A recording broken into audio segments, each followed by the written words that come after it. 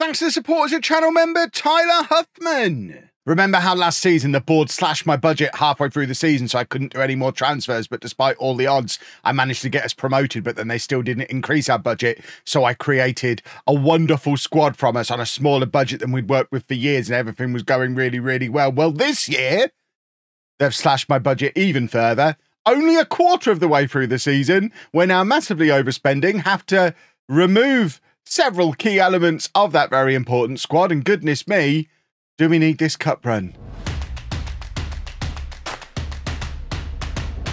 Hello and welcome to part 66 of Wembley to Wembley. I'm Kevin. Coming up on today's episode, we have that all important FA Cup fourth qualifying round game against Weymouth. And we also play Oxford in the league. Since you were last with me, um, we've continued to play very well. Playing well, not a problem for us. Money, definitely a big problem.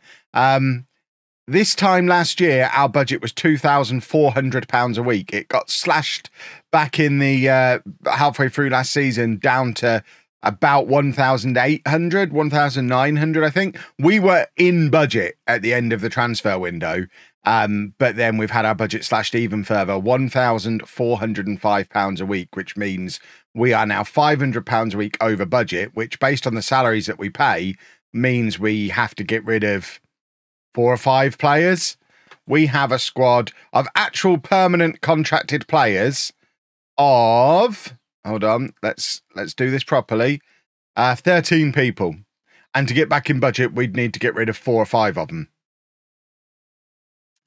Those numbers don't add up, especially when you consider that some of the loans don't go through to the end of the season. Corbin Hosey, for example, he's only here until February. Trevor Connor's only here until January. I'm bound to upset some of these other guys. Um, Charlie Gwinney's only here until February. So the three of them are not going to be here for the second half of the season. The other, oh, we've already used all our long term loans for the year, but things are going well. No, that's not the one that's going well. This is the one that's going well. Look at us go. We're second in the league. We are a good good team. We haven't lost since the first episode of the season when we lost in that triple threat match against Havant and Waterlooville. But goodness me, uh, do we need a cup run like we've never needed one before? We need a cup run to the third round in a away game against Manchester United. That's the kind of desperate situation we're in. We need to go and make a million pounds on this cup run. So this game against Weymouth, mega, mega important. Weymouth are playing at a lower level to us, so you would expect us to be able to beat them. But not only do we need to beat them, we also then need to continue our form going in the league as well. Because the only if we're not going to have the cup run, all I can really hope for is that we somehow outrun the administrators and get a few more promotions and start to get a few more fans through the door. I don't know financially, I don't know how this club is sustainable. I suspect it probably isn't. That feels like a problem for the owners, not for me, though.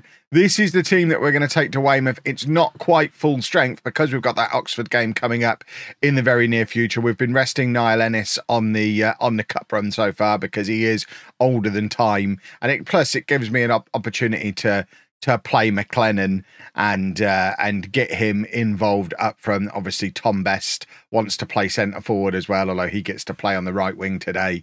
Um, and this is the team. It is Jacob in goal, a back four of Machiavelli, Hughes, Bamba, and Brown, a back four of Scowen, Hamilton, Marrow, and Best, and then Patel and McLennan up front. I don't think we signed anyone since the last episode. The most recent signing was this guy. I think he'd arrived last episode, and he was the straw that broke the camel's back and caused them to slash the wage budget, even though he's on a non contract. I love not having any money. It's really, really great. Let's go beat Weymouth and take another step on our road to Wembley. I'm starting to think the we are potentially in a situation where the very next time we play in Wembley could be at Wembley Stadium because obviously we don't play any of our matches in Wembley now. So I don't know what's going to happen first. We qualify for a game played at Wembley Stadium or get our own ground back in our own part of London.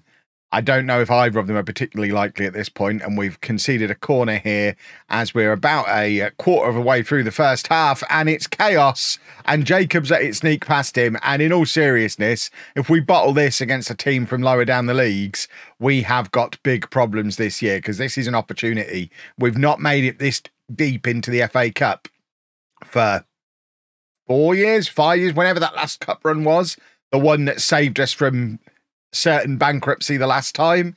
And uh, goodness me, do we need this one this time around? We're going attacking straight away. We're going to demand more because we all know touchline shouts absolutely crucial to football manager. I don't like the fact they're playing a flat back seven.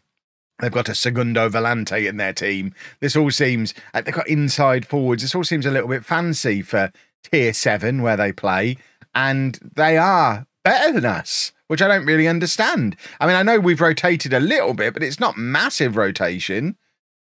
But they're uh, they're the best team at the moment. And I don't understand. There's nobody turned up though, which is nice. I mean, a nice little day at the seaside. Weymouth's the seaside, right? Nice little day at the seaside, and no one's turned up. Oh, good, the aliens are in. That's nice. Um, and there is the uh, there is a clearance. Of course, this is the first episode I've recorded since we had the FM25 announcements last week, which is why on yesterday's episode I got the day of the week wrong because I recorded it before I knew we'd be sneaking that one in. So expect me to mention touchline shouts a lot because after you lot finally convinced me to start using them, this series, Sports Interactive have now come out and said, yeah, don't bother. We're taking them away anyway. So thanks for that, boys and girls. I knew, I knew, I knew they were worthless. Kev was right all along. Uh, right, this is a problem. Talking of being right, um, do we just throw Ennis on at half time? maybe for now we just try and get Tom Best more involved further forward and try that. Maybe even have one guy playing a little bit deeper in the shape of Marrow, who is natural in that role, that keep Hamilton playing as a playmaker for now. And we will offer some encouragement. And once again, it's Weymouth with a set piece, which is called, they, they're causing us problems with these set pieces. But here is the man himself, Tom Best, the highest paid player at the club. So obviously his squad spot is now under threat again because of the latest financial developments. And goodness me, we'd miss him if he left because look at him. What a man Tom Best is. It was like the old days. Skims man, finds the cross, finds the player, and McLennan scores. And that is a lovely piece of counter attacking football led by Tom Best, who's just turned that left back inside and out. That's what he does. We're going to stay attacking because we want to win the football match, so let's attack. Let's throw our front four at them and hope they're not able to cope with it. We should be we should be comfortable here. I mean, yes, they're pushing for promotion to our league. We're pushing for promotion out of our league. So we shouldn't be struggling as much as we are. Although, I mean, XG wise, we have now gone ahead in the game, which is nice. XG, I don't think officially counts when it comes to getting us into the hat for the next round, though. So, uh, Marrow's having a terrible game. Hosey could come on, but we're actually going to bring on Mikey McLaren and do that. McLaren, I think, is a ball winning midfielder, isn't he? Yeah, ball winning midfielder for McLaren.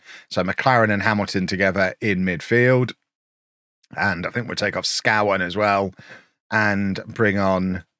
Do we bring on Dan Yates for Scowen?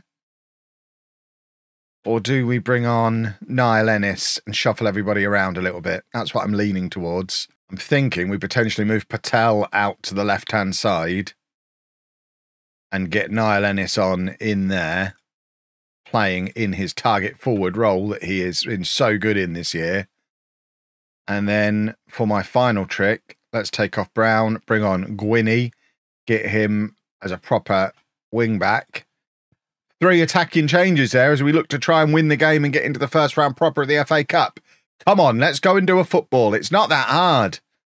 Won't somebody do something, please? Ennis is on now.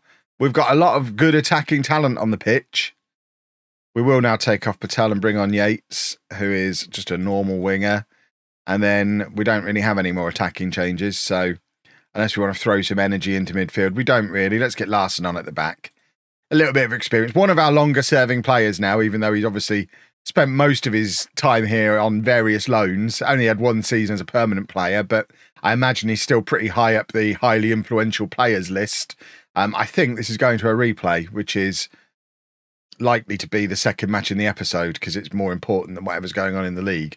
That being said, if Weymouth score here, balls to your replay, we're out of the FA Cup for another year. So please don't Please don't score here, Weymouth. We need the money an awful lot more than you do. You're you could afford a Segundo Volante. We can't even afford the players that we've got. Right, Hamilton, trying to get it clear. And there is McLennan who plays it back to Yates. And we're trying to get another counter attack going here. And they've just fouled us, just nipped our counter attack in the bud when it all looked like it was going so well.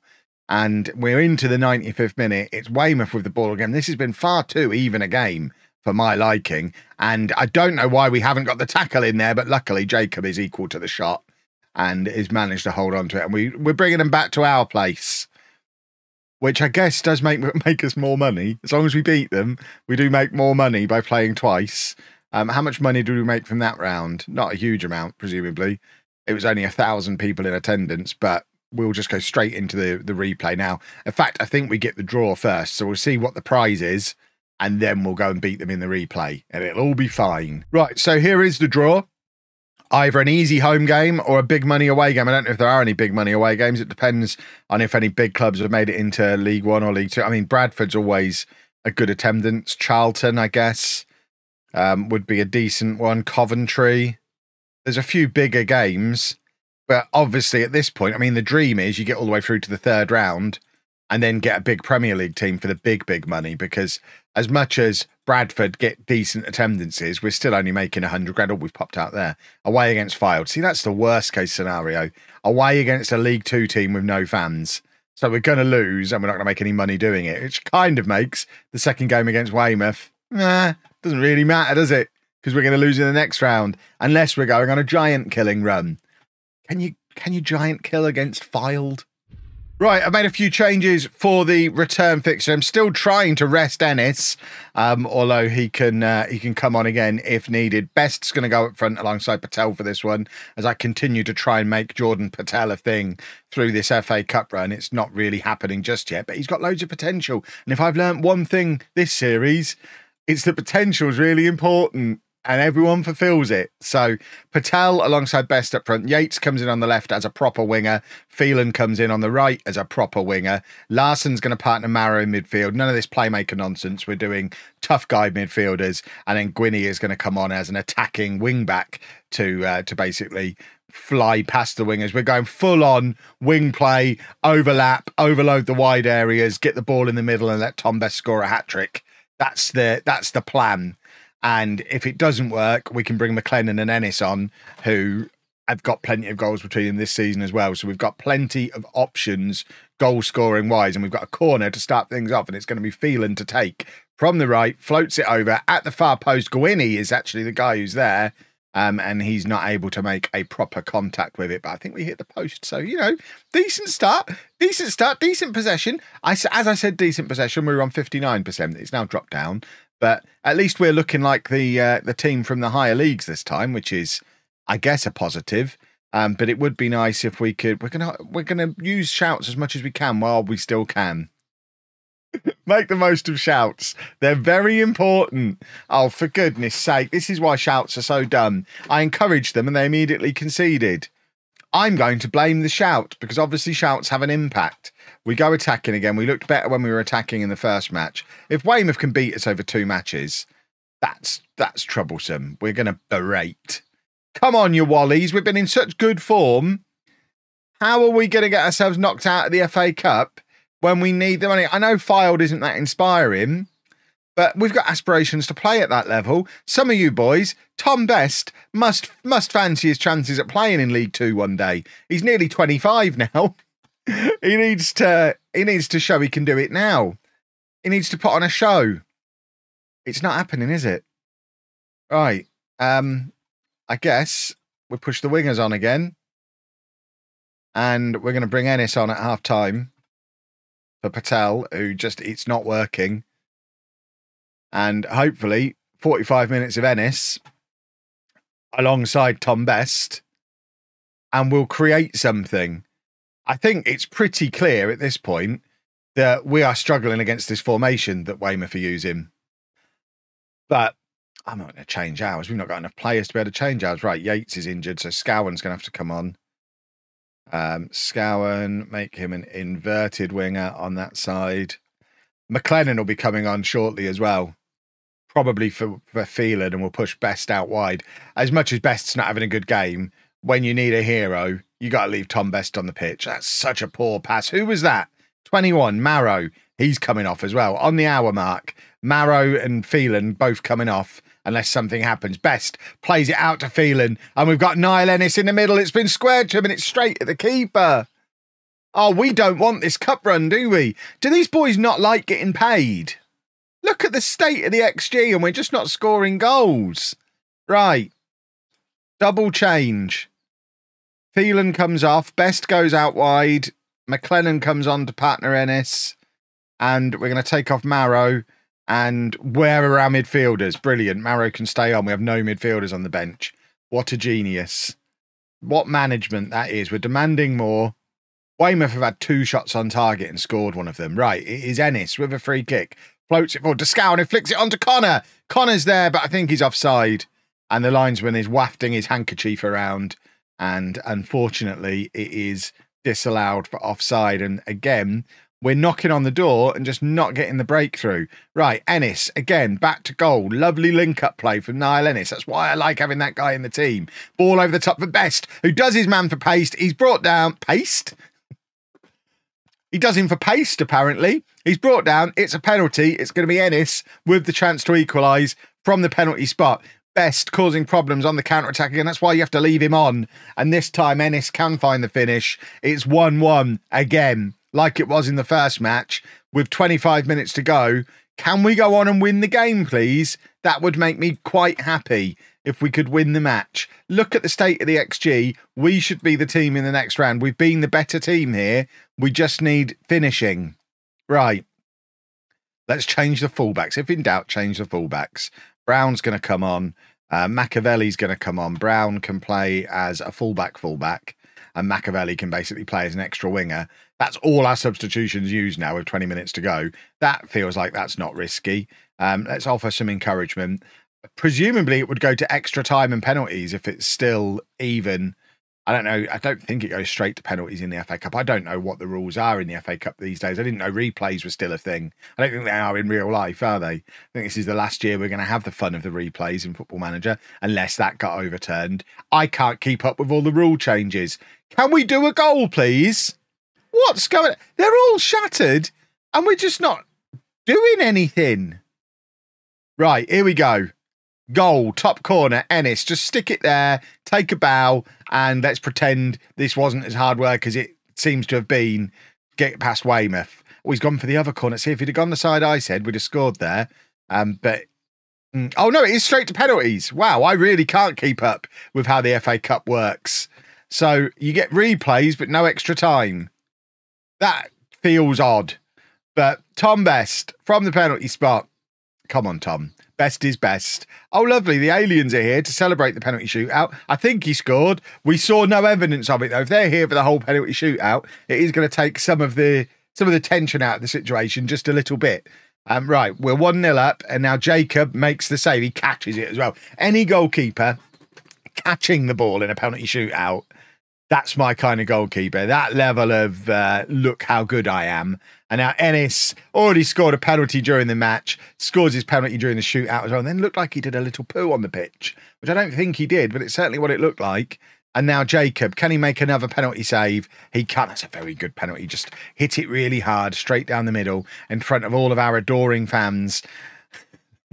Oh my word! Right, McLennan. It's all the strike. We've got so many strikers on the pitch. How did we not score? How is he not scored? Scorn. I don't. I can't word properly today. Right, it's 2 1. We need Jacob to save another penalty or Weymouth draw level. And he does, and he's caught it again. He's caught two penalties in one shootout. He's cruising towards a knighthood right here. Um, and now Marrow, if he can score, puts us well in control, and he does. And it's a very comfortable penalty for Marrow. And now, if we can get another Jacob penalty save, that is us into the first round of the FA Cup.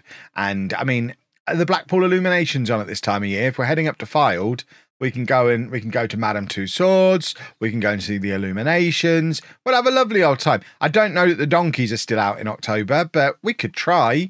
Um, let's not book the trip just yet though, because we do still have to score one more penalty. I don't even remember who our fifth taker was. Fifth penalty taker is Bamba. Come on. I'm spitting everywhere. I'm so I'm so tense. I'm nervous. Can we do a goal, please? We need this cup run. Bamba straight at the keeper. Oh, Jacob, catch one more. We do not. How is it going to go to sudden death penalties against a team from the league below? Why are we making such hard work of this? Right, Jacob, you've caught two. You don't even need to worry about catching this one. Just stop it going in the net. Jacob, for a third penalty save of the shootout, and no, it's all going wrong, isn't it? We're getting knocked out here. Larsson already talked about how he's one of the longest serving players at the club, a proper Wembley boy. That's a very confident penalty that I don't want to see any of my players ever take again, um, but does put us back in control and gives Jacob another opportunity to cement his legacy as a cup run hero. This penalty save, Jacob, could be worth 30 grand to us. We could really use 30 grand. Jacob, can he? He, oh, he nearly did fingertips to it.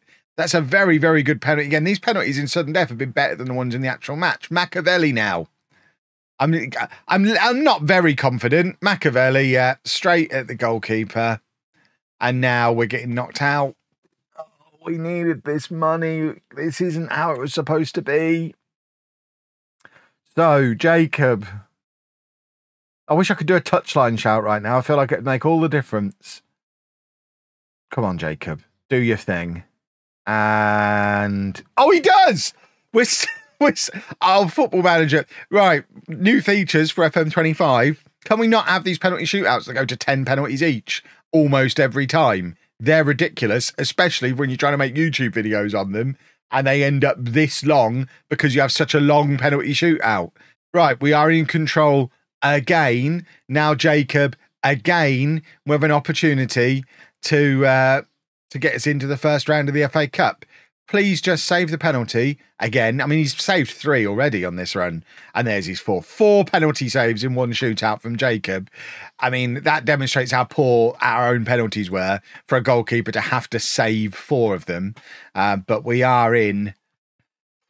We are in the first round of the FA Cup, which obviously will be tomorrow's episode away against Fylde as we keep running with our cup run. So we got 10 grand of prize money for that now we're off to Fylde, off to sunny Fylde in October. What more could you want? Um, how what kind of attendances do they get? Not much more than Weymouth. I mean, they got less than 500 people for that match. It's probably what they're going to get for us. Um, but if we have a look at what that's done to the finances, we made like seven grand today. I don't know that the cup run's going to save us this time. If you've enjoyed that, please make sure you leave a nice big thumbs up on there for me. Subscribe to the channel for daily Football Manager videos. And thank you very much for watching.